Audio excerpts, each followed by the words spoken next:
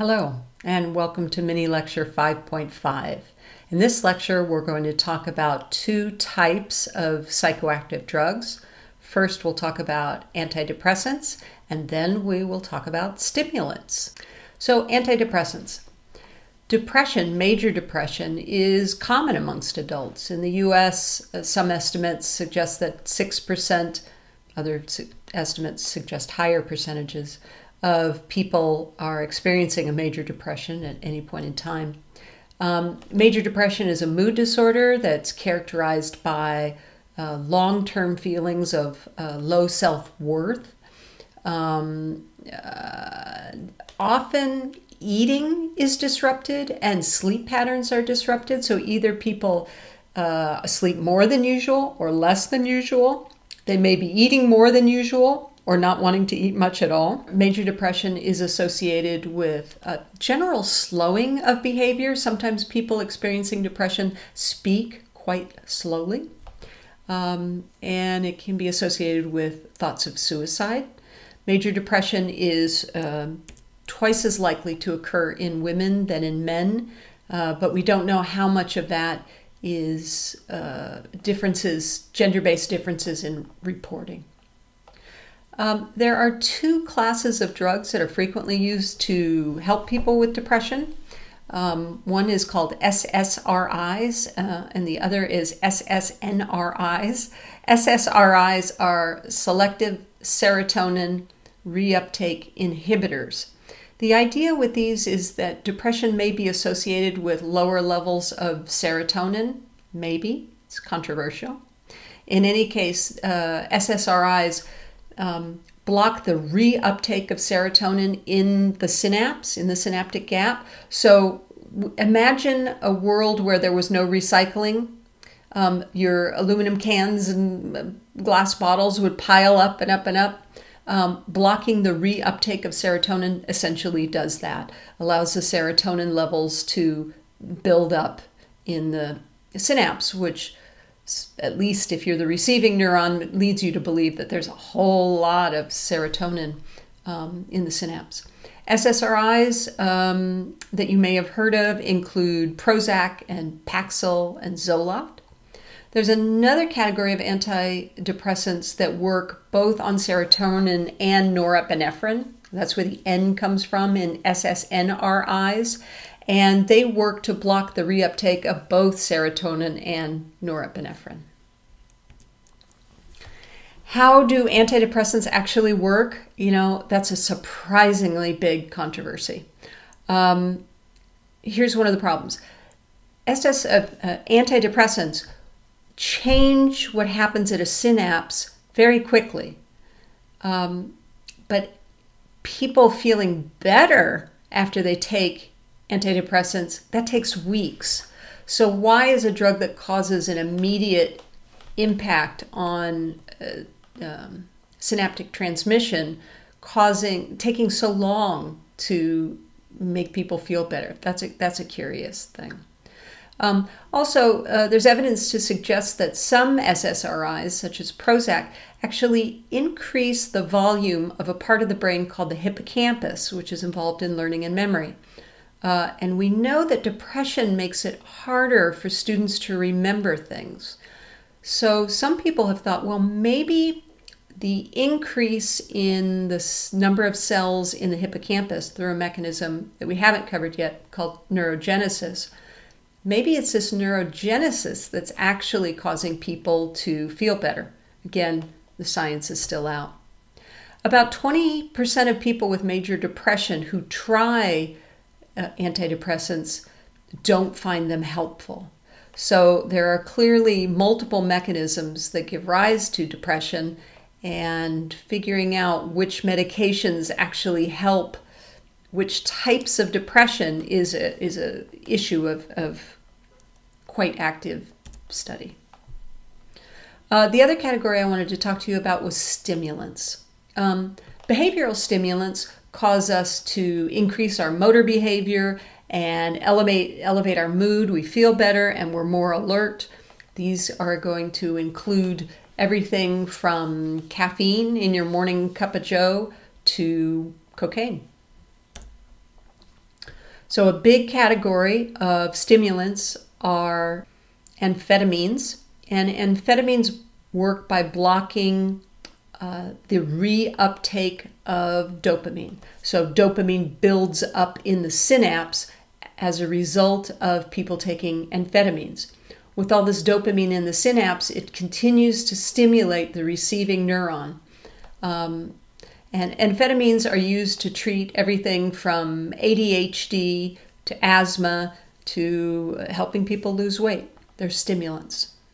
Methamphetamines um, are a category of psychoactive drug that produce um, uh, a, very big high, a period of euphoria that lasts um, quarter of a day, half a day. Um, it also increases um, your sex drive, your libido, also your sense of self-esteem. Um, so methamphetamines is very attractive drug for people who have low self-esteem or or are shy because it makes them very outgrowing.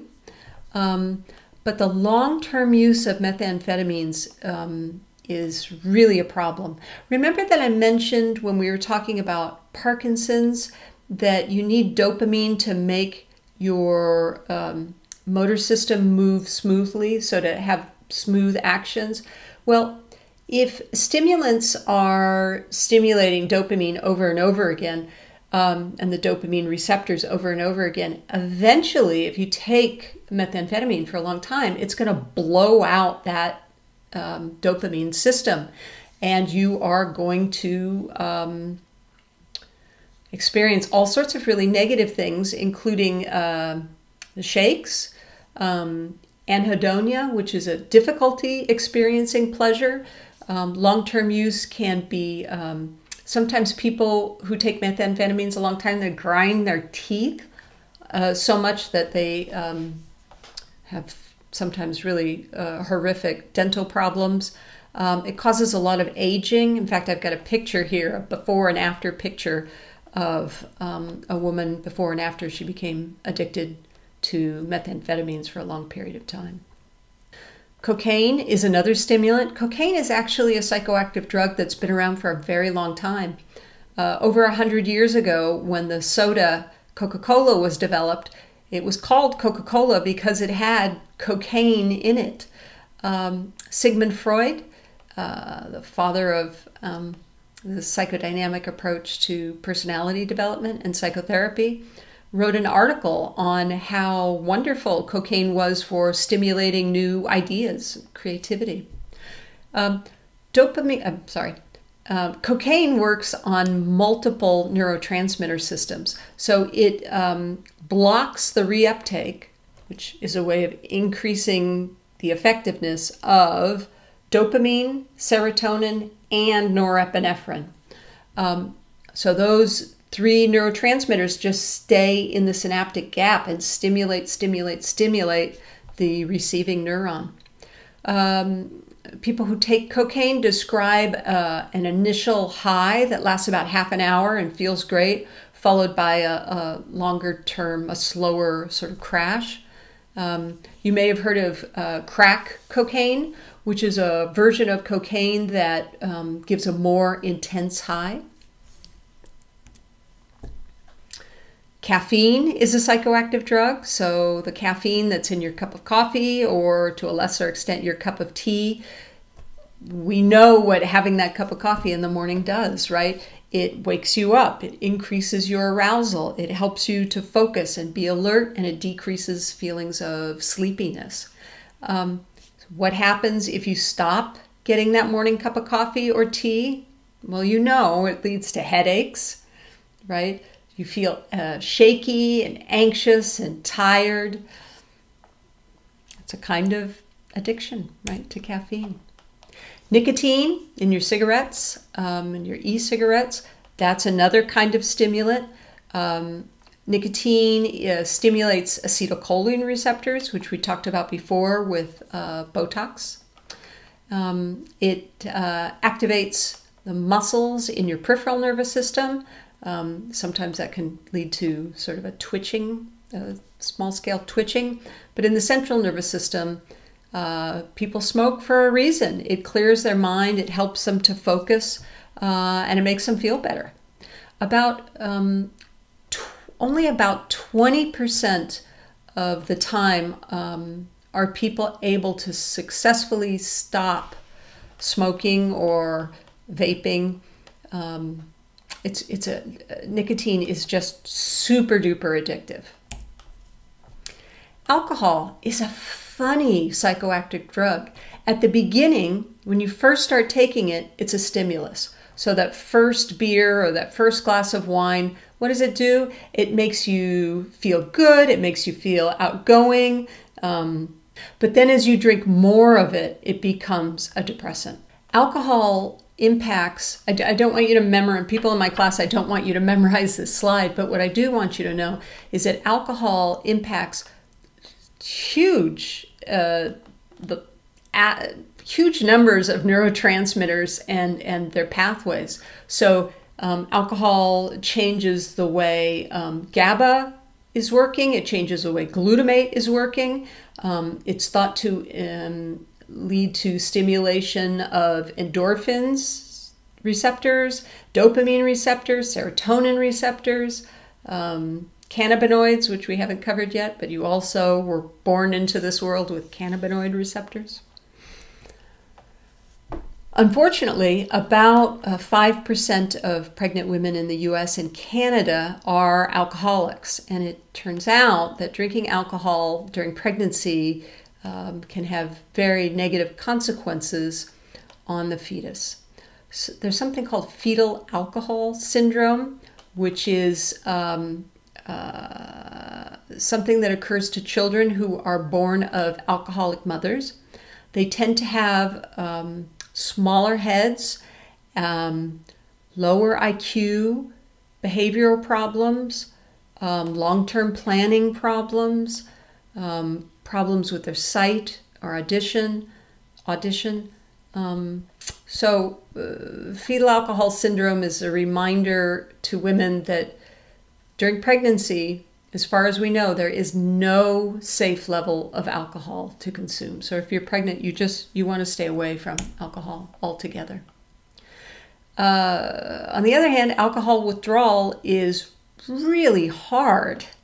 Um, bec- probably because alcohol affects so many different aspects of the central nervous system. Uh, once you become uh, addicted to alcohol, it's your body really becomes dependent on it and it rebels when you you don't give it the alcohol it needs. Um, one of the um, problems associated with um, alcoholics when they stop drinking alcohol is something called DT or delirium tremors.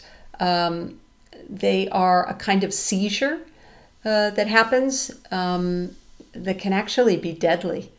Um, it, the symptoms of withdrawal from alcohol include everything from irritability and anxiety to shakiness and fatigue and depression. Okay, that's it for this mini lecture. Come back for our last mini lecture on uh, psychoactive drugs. And in that last lecture, we will talk about hallucinogens, or also called psychedelics.